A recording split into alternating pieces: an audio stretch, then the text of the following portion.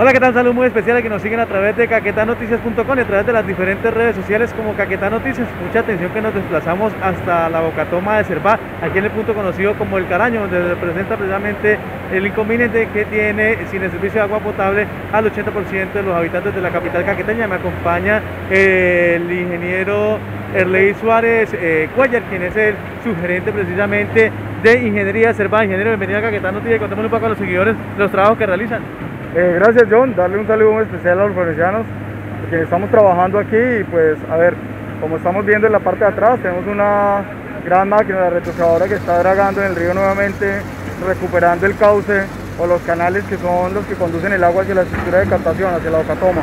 Eh, desde muy temprano en la mañana, desde las primeras horas del día hemos estado trabajando para recuperar eh, el cauce. Hemos tenido inconvenientes porque pues aquí en este punto convergen los dos ríos, el río Hacha y el río Caraño.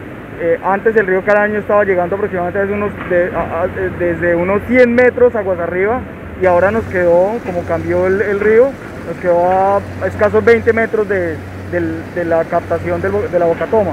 Entonces esto ha hecho pues también que todos los sedimentos se arrojen de una forma directa, digamos, sobre las rejillas y esto es lo que ha obstaculizado todas las estructuras de captación del líquido.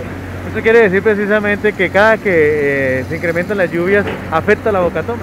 Sí, el comportamiento ha cambiado ahora, eh, John. Antes, digamos, nosotros no teníamos inconvenientes, pero como les digo, nuevamente el caraño eh, hace aproximadamente un mes, una creciente súbita de unas gran masas de materiales hizo que se reacomodaran los canales. Esto cambió el comportamiento ahora tenemos que lidiar con esta situación. Sin embargo, pues aquí estamos de todas maneras para tratar de reacomodar o más bien recuperar el cauce normal que traía el río Caraño. Ingeniero, ¿para cuándo los florencianos pueden eh, precisamente esperar que ustedes restablecen el servicio de agua potable?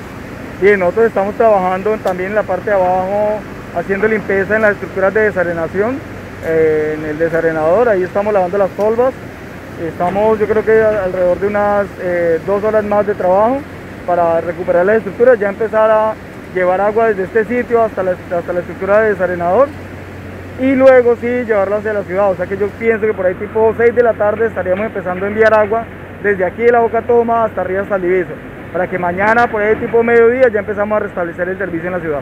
Muchas gracias a su gerente de ingeniería de Cerva, al ingeniero Erley Suárez, que está conoce precisamente que continúa los trabajos aquí en la Boca Toma, El Caraño, para poder restablecer el servicio de agua potable a los florencianos el día de mañana. Estoy Martín informando para Caquetá Noticias, noticias destacadas. Listo, pa. gracias. ¿De aquí mismo? Servav. Trabajamos por el ambiente y nuestros usuarios y queremos que conozca el equipo humano que se esfuerza día y noche para que cada florenciano cuente en su hogar con el líquido vital diariamente. Representamos con orgullo nuestros principios corporativos, calidad, compromiso total, respeto por nuestros usuarios, responsabilidad social y ambiental. Servav Agua, valiosa para la vida. Cuídala.